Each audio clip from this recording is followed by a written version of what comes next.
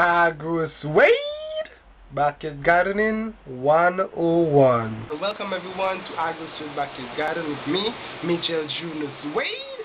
So I never actually told the story of how Agro Suede Backyard Garden came about. The name and the adventure that I took in teaching you how to do backyard garden.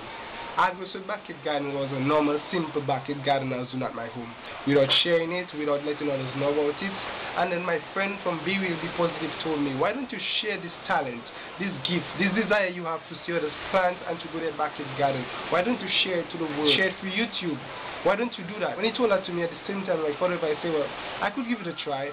And he said, what about a name? So I was trying to wonder what name I could possibly give this venture. I needed an interesting name, a name that would captivate others. A name when you say it, when you hear it, you will know that is exactly what it's about.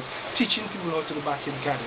And I came up with the name Agro Suede. Now, agro came from agriculture, so I had agro. And suede is a name actually I love. So that's how agro suede came about. Agro for agriculture and suede I mixed it in. I just combined and I came up with the name agro suede. Now agro suede backyard garden is all about teaching others how to do backyard garden in an economical way. Our motto is a backyard garden in some way will keep the doctors away.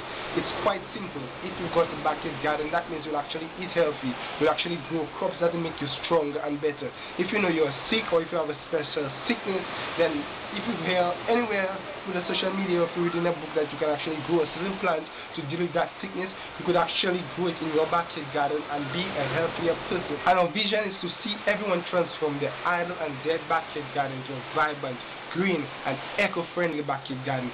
This yard wasn't all that it is now and I'll eventually show you a video on actually overview because somebody asked me and I promised I'll do it. But this backyard garden it wasn't like that. It was dead it had a lot of sea sand in there. It had only two trees, which was a kennel tree. And here's a picture of it actually. This is how the yard looked. I don't want to show you too much because I want to give you an overview of the yard of before and after. But this is how it looked before and now it's transformed into a green, eco-friendly backyard garden. And I want to encourage you to do the same thing to an idle space you have in your backyard garden. Our mission is simple, to demonstrate and to inform you, the general public, of the importance of doing backyard gardening through the social media while encouraging you to be recycling, water conservation, and most importantly, eating healthy. Grow what you eat and eat what you grow. So this is Agro Suede Backyard Gardening 101. You might be wondering why Agro Suede Backyard Gardening 101.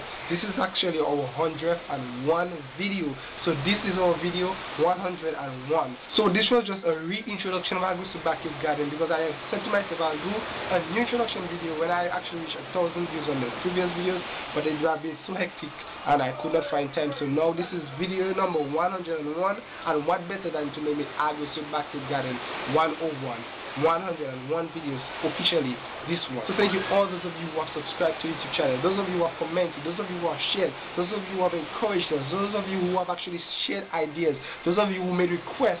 Thank you very much. Those of you who visited the backyard garden in person, those who sent seeds, we are so grateful at Agro Suede Backyard Garden. And I to encourage you to not give up on backyard gardening because if you give up on backyard gardening, you'll be giving up on your own health and your own self. Thank you very much. And Agro Suede out.